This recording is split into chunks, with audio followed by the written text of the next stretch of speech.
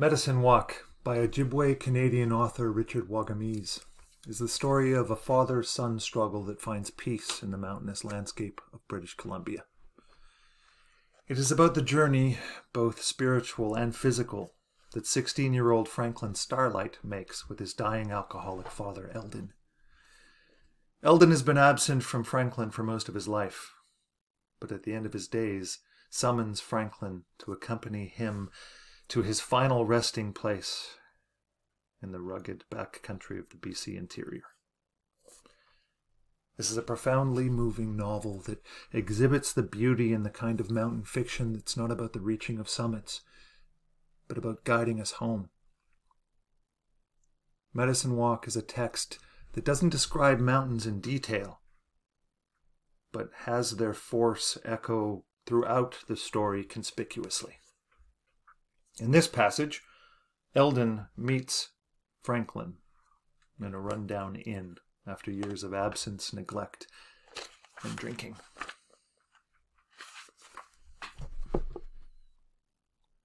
The place was a dank hovel.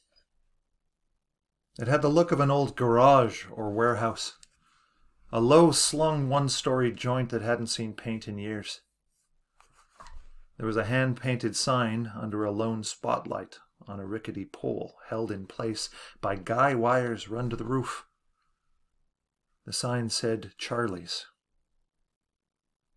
The windows were swing outs, and one of them was held open by a broomstick. Sounds from a jukebox, and the garble of voices and the clink of glasses.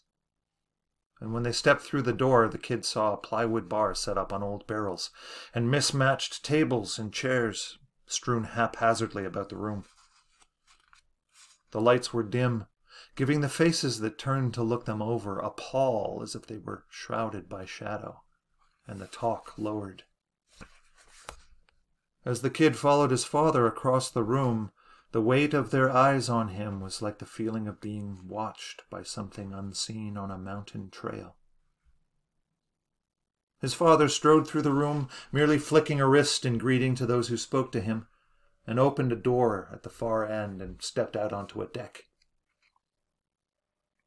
It was suspended over the dark push of the river by huge pilings, and the kid could hear the hiss and gurgle of it from beneath the boards. There were propane heaters set around, and there were knots of men at the tables. His father walked to an empty table close to the railing and hauled a chair back and sat looking out over the water. The kid shook his head. And when his father still did not speak, he took his makings out and began to twist a smoke.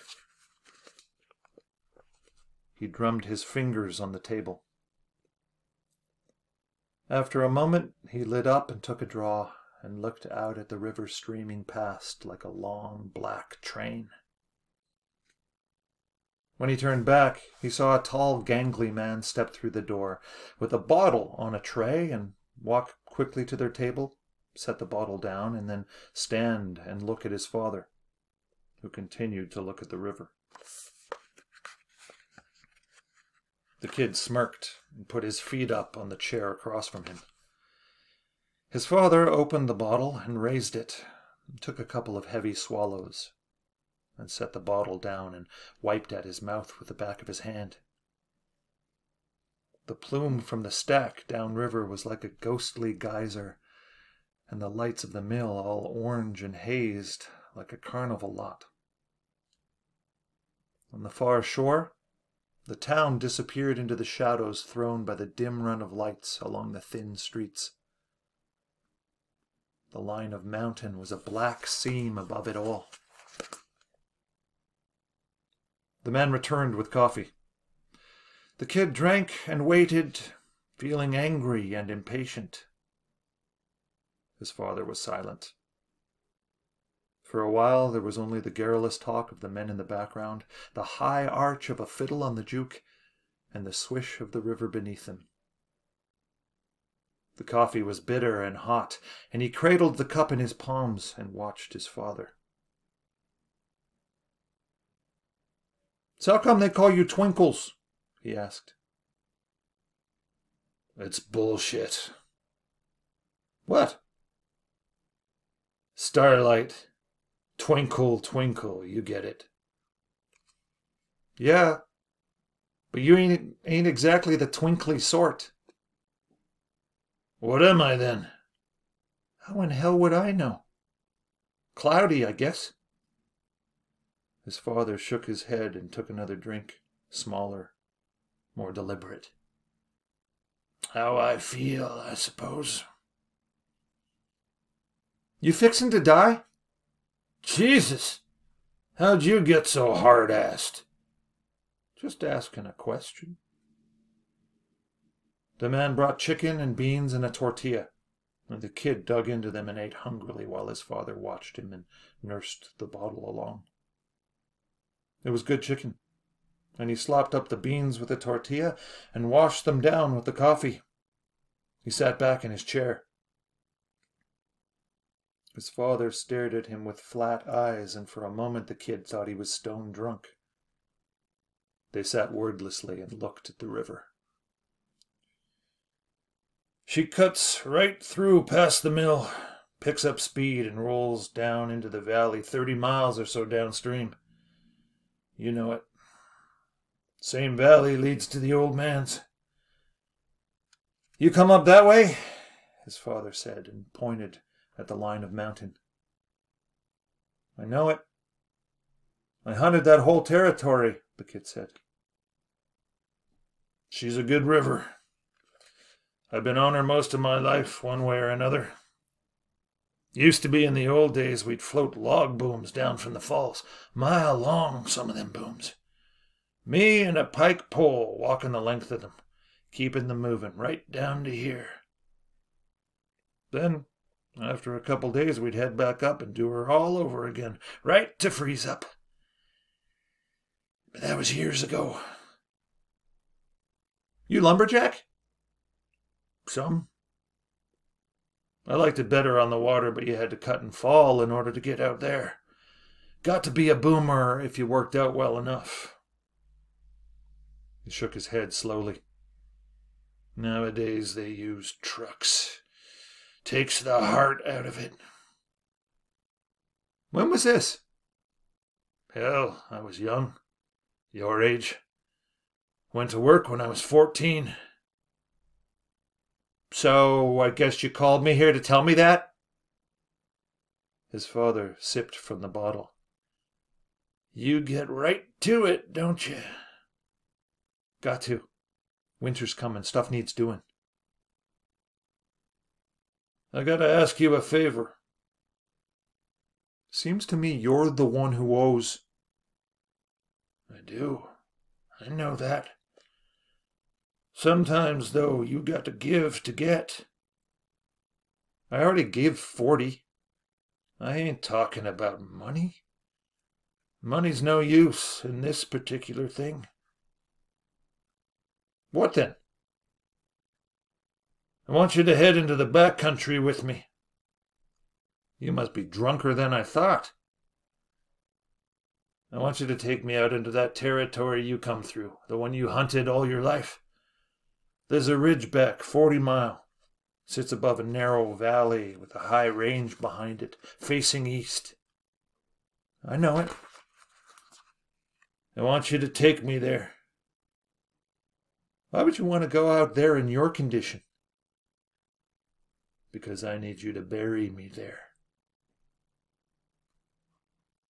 The kid sat with his coffee cup half raised to his mouth, and he felt the urge to laugh and stand up and walk out and head back to the old farm. But his father looked at him earnestly, and he could see pain in his eyes and something leaner. Sorrow, maybe, regret, or some ragged woe tattered by years. His father twirled the bottle slowly with a thumb and two fingers. You won't make it forty miles, the kid said. You didn't walk here, did you? Well, I'll ride your horse. So it's my walk then. Jesus, kid, I'm dying. Where's your heart? He turned from his father and looked out across the slick black of the water. All right, his father said. You won't do it. The kid slapped at the table with one hand. He stood up, and there was silence behind him as everyone stopped their talk to watch. He shook his head and rubbed at his chin with one hand. His father sat leaned forward with his elbows on his knees and lit another smoke. There's things need saying, he said. He said it flatly, looking down at his shoes. Why? So you can feel better? I was thinking about you. You never thought of me before. I did so. Yeah, right. He reached out and took the bottle off the table and held it up and studied the level of it, sniffing at the top of it before setting it back down and kicking at his father's chair. His father raised his head slowly and peered at him sideways. The kid sat down. I need you to bury me facing east, he said, sitting up in the warrior way. You ain't no warrior. His father sat and sucked at the smoke between the pinched ends of his fingers, then tossed it over the railing. He stood and reached out and took the bottle and raised it to his mouth and swallowed twice, hard. And then he pitched the bottle over the railing too. He turned to the kid and he weaved some but put a hand down on the tabletop to steady himself and looked at his son with half closed eyes. I was once, he said. Need to tell you about that. Need to tell you a lot of things. So you want to walk and talk about the good old days? Weren't no good old days. But you need to hear still. It's all I got to give you. Ain't never gonna be enough. He looked at the kid, and there was no more talk. So he turned and made his way across the deck and through the door into the barroom. The men at the other tables watched him go. They looked at the kid. He sat with his feet propped on the chair his father had just occupied and rolled a smoke.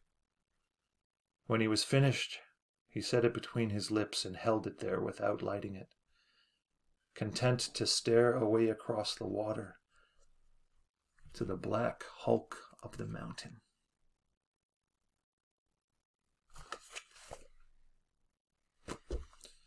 You've just heard Medicine Walk by Indigenous Canadian author Richard Wagamese. If you want to listen to another unconventional mountain text, tune in for Denise Desautels' Sculptures 2005, which brings a unique perspective on Montreal. If you prefer English and happen to love dark comedy, then Mia Van Leeuwen's reading from Angie Abdou's The Canterbury Trail will be perfect.